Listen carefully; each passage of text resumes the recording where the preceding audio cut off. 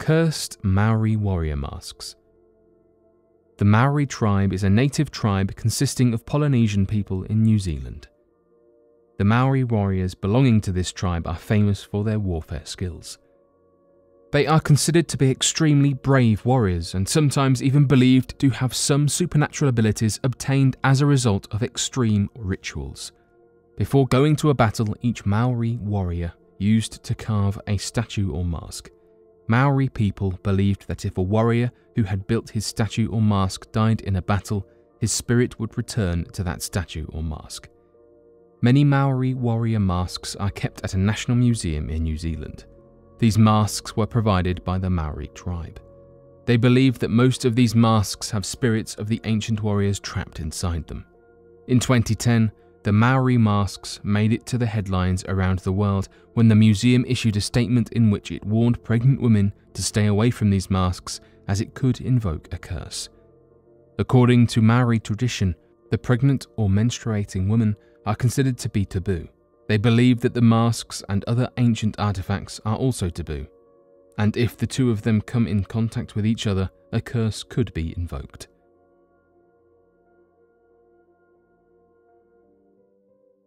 Iron Crown of Lombardy According to historians, the Iron Crown of Lombardy was made during the early Middle Ages in the 4th or 5th century. It consists of a large ring of gold that is fitted with a silver band and some precious jewels, all fitted around an iron ring. It is believed that the iron crown contains a one centimetre wide iron band that was beaten out of one of the nails used at the crucifixion of Jesus. The crown became a symbol of the Kingdom of Lombards. Later, it was in the custody of the medieval Kingdom of Italy and was used for the coronation of kings in Italy during the 11th and 14th century. Today, this mysterious ancient relic is present in the Cathedral of Monza, which is located near Milan in Italy. According to the popular tradition, the crown was made by Saint Helena, who was the mother of Constantine the Great. She had discovered a nail from the true cross when she ordered to forge a crown around the beaten nail. She believed that it would bring blessings and good fortune to her son. Later, the crown was passed to Theodolena, who was a princess of the Lombards, she received it as a gift from Pope Gregory the Great. In 628 AD, Princess Theodolena donated the crown to the church in Monza. There has been a strong argument amongst the religious scholars over the authenticity of the nail that was used to forge the crown. To this day, there is no consensus about its authenticity.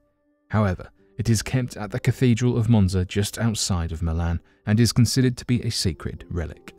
According to the cathedral authorities, the inner iron ring of the crown is in perfect condition and has shown no signs of rusting, despite being made thousands of years ago. In one of the studies conducted in 1985, it was revealed that magnets do not get attracted to the crown's iron ring.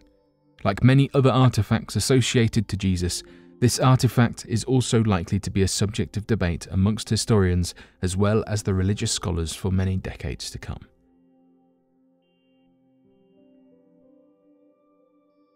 La Noce de Pierre.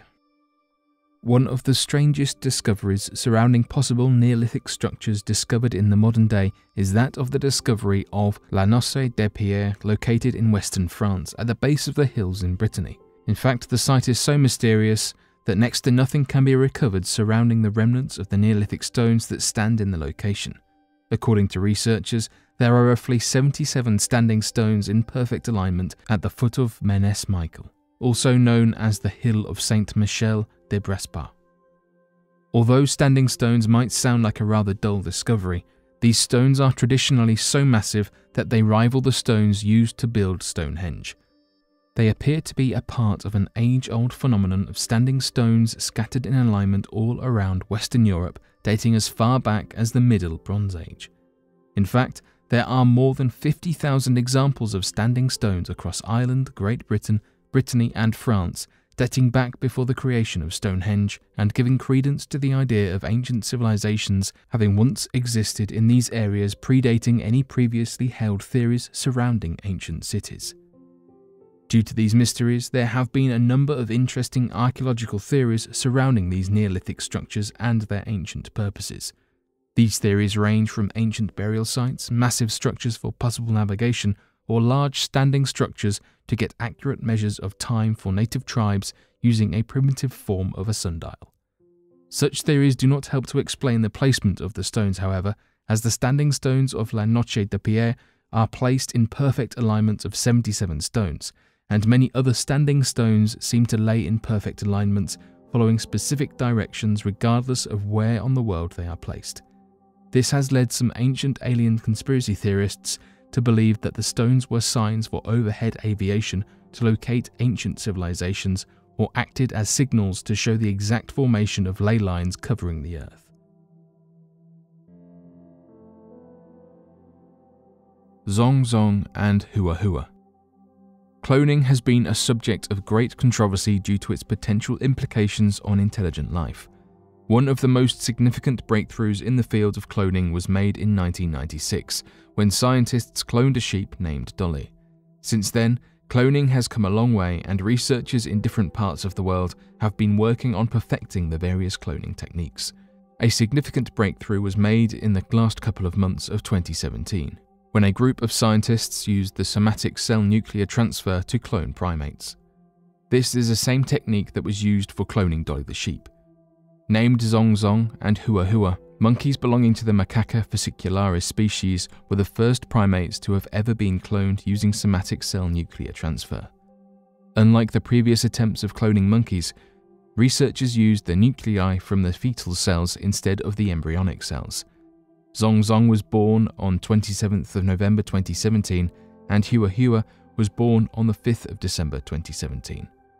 Both primates were cloned at the Institute of Neuroscience of the Chinese Academy of Sciences situated in Shanghai.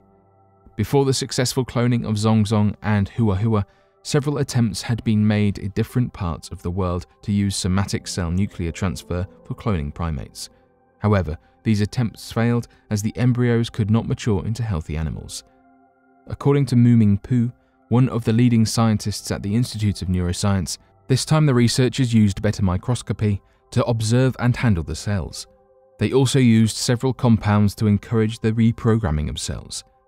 Although the researchers were able to clone Zhong Zhong and Hua Hua, the overall success rate was very low even after using these advanced techniques. Only two healthy babies were born out of 60 surrogate mothers. Researchers believe that the perfection of this technique could potentially lead to better understanding and treatment of diseases like Alzheimer's and Parkinson's in humans.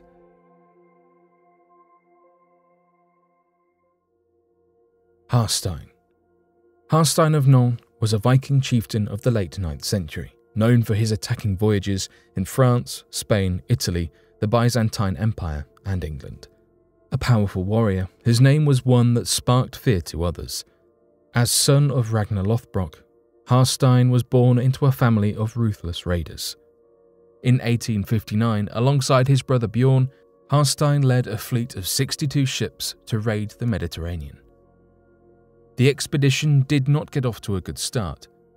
Hastein was defeated by the Kingdom of Asturias in Spain, and later the Muslims of the Umayyad Caliphate. Thankfully for Hastein, the situation soon improved, with a successful sacking of Algeciras and Mazima on the north coast of Africa, followed by further raids into the Balearic Islands. It was on their journey home that Hastein first heard about the famous city of Rome. Hearing about the large amount of treasures that were held there, he decided to change course towards Italy. However, believing they were headed for Rome, Hastein and Bjorn's army actually ended up in the city of Luna.